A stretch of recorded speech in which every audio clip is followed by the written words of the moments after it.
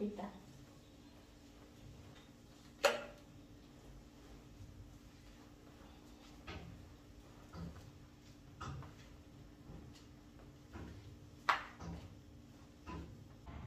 Ayan, hi guys. Ayan, nandito na naman tayo. Sumama naman tayo sa ating mister. Kay, kasi sumali na naman siya ng karera. Ayan, nandito na naman kami sa Akachu.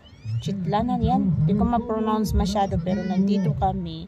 At sobrang init. Ayan, ito na naman tayo. Taga-bitbit na naman tayo ng tubig. Ayan, kung naririnig nyo, ayan, may nag-a-announce kasi yung ibang mga kategory niyan. So, yan, inihintay kong ano, yung tawagin yung kategorya ng mister ko para ano, pupunta na ako dun. Hindi ako nagpunta dun agad kasi mainit. Ayan, kahit lagi kaming nag-aaway, pero ayan, sasamahan pa rin natin siya sa kagustuhan niya kahit lagi kaming nag-aaway. Hindi ko alam, ba't lagi kaming nag-aaway kasi minsan nga uh, may mga bagay na hindi kami magkaintindihan. Tapos, pag nag-i-explain ako, ayan, gusto niya na siya lahat ang masunod. Yan yung ang hirap.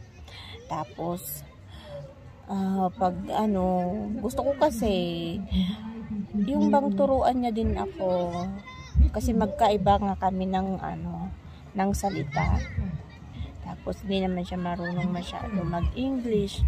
Gusto ko sana yung kung mayroon akong hindi naiintindihan, turuan niya ako, hindi yung nagagalit siya agad. Eh, nagagalit siya agad, sumbong ng sumbong sa nanay niya. Kaya yun yung pinag-aawayan namin minsan. Tapos minsan may sinasabi siya, tapos nagtatanong ako. Tapos mag-uus siya, nakapokus siya sa kasi siya sa nilalaro niya. Tapos pag ano, mali yung ginawa ko, ayun galit na naman siya. Kaya minsan ang hirap mag-adjust mga loves sabi nga ng ibang friend ko, nasa stage of adjustment pa daw kami. Intindihin ko lang daw siya. Pero nung nakaraan, hindi ko na talaga siya kayang intindihin. Kaya sinagot-sagot ko siya. Hindi kami nagimikan, dalawang araw. Tapos, sa ibang kwarto ako natulog. Hinayaan ko siya. Kasi, sabi ba naman niya, wala daw akong ginagawa. I, maglinis na lang daw ako ng maglinis pagdating sa bahay, maglaba, ganun. So, anong gusto niya? Tapos, ang aga-aga namin, ano, ang aga-aga namin umaalis sa bahay. Kasi, araw-araw may trabaho. Kaya nung nag-away kami, hindi ako naglinis, hindi na rin ako nagsaing, mga ganyan, hindi ako naglaba. Hinayaan ko siya. Eh, yung nagalit na naman kasi wala daw akong ginagawa. Hindi ko daw siya tinutulungan sa gawaing bahay. So, sabi ko sa isip ko, di ba yun ang gusto mo? Hindi kita tulungan. Natulog ako dalawang araw, maghapon. Tapos, galit naman pala. Tapos, ayun, kahit na uh, lagi kami nag-aaway, yan, sinasamahan ko pa rin siya. Minsan nanghihirap, parang gusto, parang ano na kami, gusto naming mag ano na lang, yung mag, uh, magsuntukan dalawa. Isip bata din siya minsan. Ako minsan sumpungin din. Ayun, malapit na sila mag-start. So, ayan, hintayin natin guys. Tapos, magkwentuhan tayo next. Bloque 3. Solamente intermedios juveniles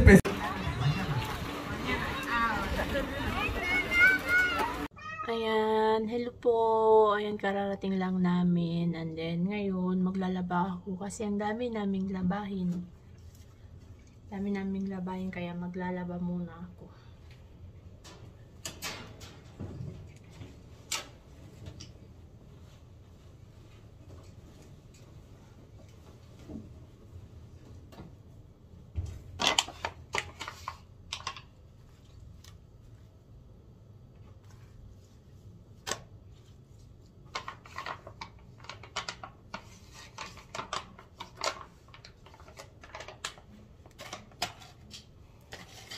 Dito, hindi naman mahirap maglaba kasi automatic naman siya. Yun nga, ah, mag, pag ano, natapos na yun, isasampay na lang siya.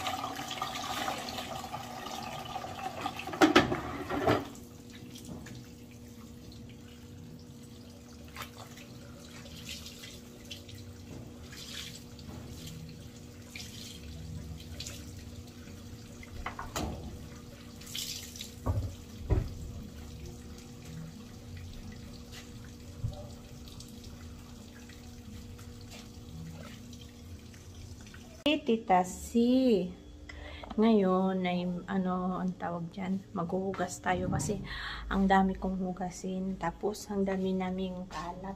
Ayan o ito kasi nagdala kami ng mga lagayan ng tubig. Ayan. Ito.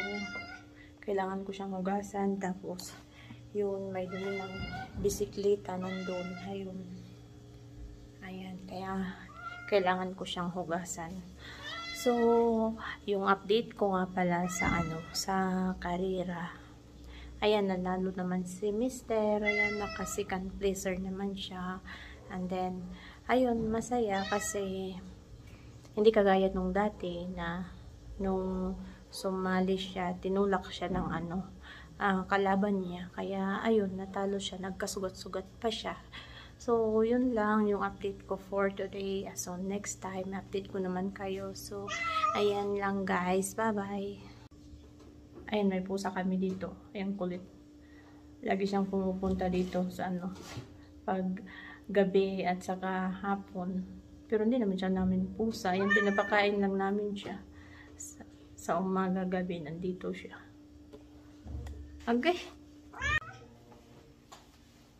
Vê a porra, deitar.